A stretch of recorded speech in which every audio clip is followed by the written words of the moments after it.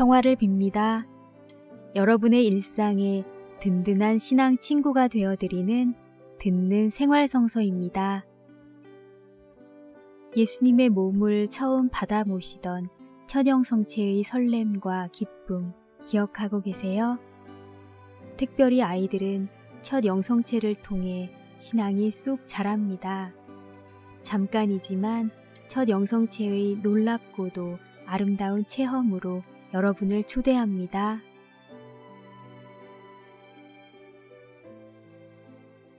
열 살 루카의 눈물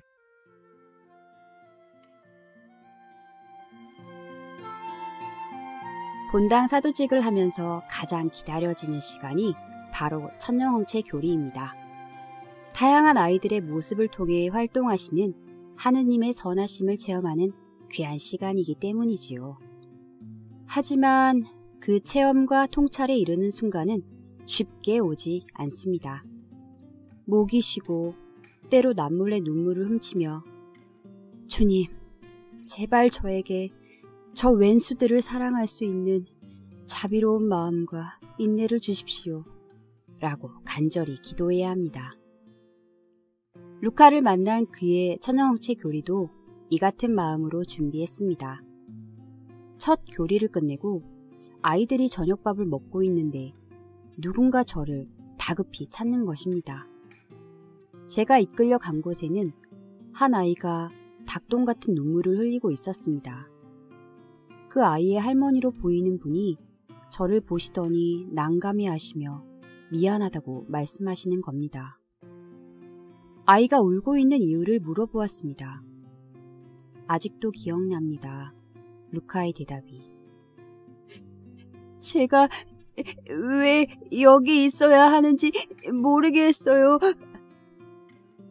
알고 보니 루카의 할머니는 신앙생활을 열심히 하셨으나 루카 어머니와 루카는 세례만 받고 신앙생활을 하지 않은 겁니다. 손자가 10살이 되자 할머니가 교리를 신청하시고 아이를 데리고 온 것이지요. 저는 루카, 오늘 교리가 재미없었어? 라고 물으며 그럼 수녀님이 할머니한테 잘 말씀드릴 테니까 내일부터 안 나와도 돼. 라며 아이를 달래고 할머니와 함께 집으로 돌려보냈습니다. 예수님은 때로 하기 싫으면 하지 않아도 돼 라고 말씀하시는 분이심을 아이가 느끼길 바랐습니다. 헌데 다음날 루카가 성당에 온 것입니다. 그것도 아주 일찍. 루카, 너 성당 재미없다며? 라고 물으니 일단 조금 더 다녀보려고요. 이러는 것입니다. 그렇게 루카는 성당에 또 교리에 적응해가며 교리를 마치고 드디어 첫 성체를 영하게 되었습니다. 시끌벅적한 잔치가 끝난 다음날 월요일 새벽 미사에 한 꼬마가 성당에 앉아 있었습니다. 루카였습니다. 저는 천연홍채 준비 중 참내하는 미사를 헷갈렸나 싶어. 루카, 이제 교리 끝났으니까 평일에 미사 안 나와도 돼. 라고 알려주었습니다. 그러니 루카가 알아요. 예수님의 몸을 모시고 싶어서 왔어요. 순간 마음이 쿵 내려앉았습니다. 루카와의 첫 만남이 떠오르면서 아이의 순수한 마음과 예수님이 루카를 통해 하신 일이 전율처럼 느껴졌습니다. 천년홍채 이전에는 주일학교도 나오지 않는 교적으로만 신자였던 아이가 천년홍채 교리를 통해 예수님을 알고 예수님 몸을 모시기 위해 스스로 새벽에 일어나 미사에 온다는 것이 참으로 놀라웠습니다. 시간이 얼마나 흘렀을까요? 고요한 토요일 오후 한 무리의 아이들이 시끌벅적 성당으로 들어오는 것입니다. 누구지 싶은 찰나 수녀님! 하는 소리가 들렸습니다. 루카였습니다. 루카가 친구들과 함께 성당에 온 것입니다. 근처 센터에 놀러 왔다가 성당에 가고 싶어 들렸답니다. 여기가 내가 다녔던 성당이야.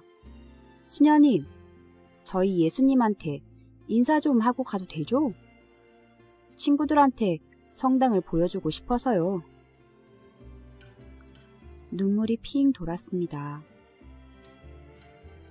천연홍채 하면 가장 먼저 떠오르는 친구가 루카입니다. 예수님의 몸을 모신 이의 모습이 변화될 수 있음을 루카를 통해 보고 느끼고 배웠기 때문이지요. 지금은 고등학생이 되어 있을 루카를 상상합니다.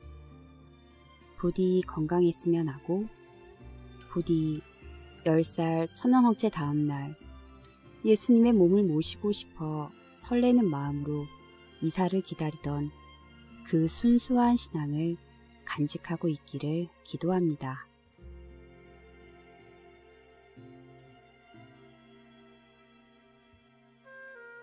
오늘은 생활성서 5월호 특집글 가운데 백미자 디에고 수녀님의 10살 루카의 눈물로 아름다운 체험을 함께 나누었습니다.